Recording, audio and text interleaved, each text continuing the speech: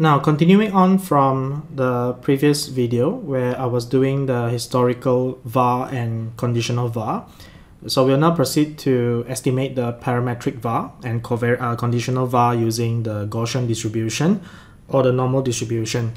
Before that, I'll just label this uh, part as historical var and conditional var.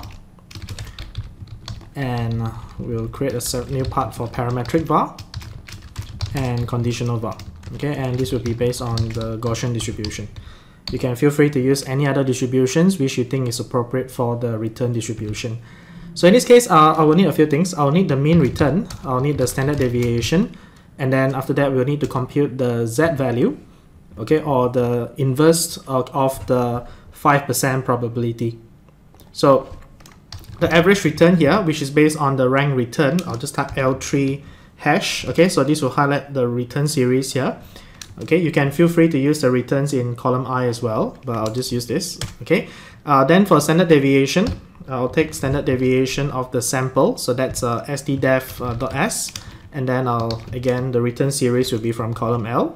So this is the sample standard deviation 2.62% so the z value here okay is the value at which there is a probability of 5% okay below the curve. And of course this is uh, on the left hand side. So for the z value I'll take the inverse the norm as INV so this will give you the inverse of the standard normal cumulative distribution. So the probability is based on 5% in this case. So that's uh, negative 1.64485 so just change to that. So in this case uh, the var okay uh, of the return series will be based on the return the mean return plus uh, the standard deviation times the z value, the inverse. So that will give us uh, negative 4.1783%. Now, that means that uh, within a 5% probability, okay, uh, within a day, one day period, okay, there is uh, the stock could lose more than 4.1783%, okay, assuming a normal distribution. So var is a loss measure. So often the var value is uh, expressed as a positive number since it's already a loss. So just to make it uh, consistent, I'll just put a negative sign here. Okay. So this will be positive. So I'll do the same for the historical var. So in the formula, I'll just enter a negative sign here. Okay, but that will affect the next formula. So I'll just change this to negative 05. Okay, so that it will filter the right series. And then of course, uh, but if you do this, the conditional var will still be negative. So let's insert a negative sign here. And then for the date, previously, uh, we will just select based on the negative of 05. Okay, so that will give you the right number again. Okay, so var and conditional var is expressed in positive terms because var and conditional vars are already loss measures.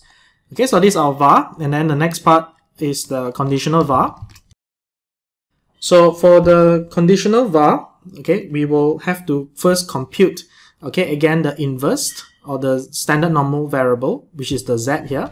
Okay, and to do that, we need to calculate another z value, okay, for the location of the conditional var.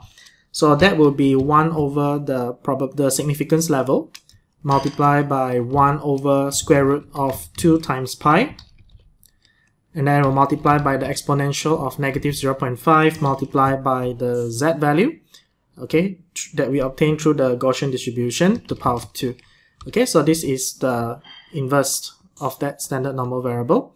And of course it has to be negative. Okay so let's not forget the negative sign here. And then so now the condition the conditional var will be the mean plus the standard deviation multiplied by the uppercase z value here so this is our conditional var. And of course, don't forget that uh, var or conditional var is expressed in absolute terms, so that's 5.273%. So in other words, there is a 5% chance that within a day, the loss could be more than 4.1783%. And if the var is exceeded, then the stock could lose on the average 5.27%. Then of course we can change this to 1% to see the impact. Okay, and you can see that oftentimes the historical var may not be the same as the parametric var and conditional var. Okay, and that's because the distributions uh, that we obtain through the historical returns may not be normally distributed. So in the next video series, we'll see how we can incorporate skewness and kurtosis into estimating the VAR and conditional VAR.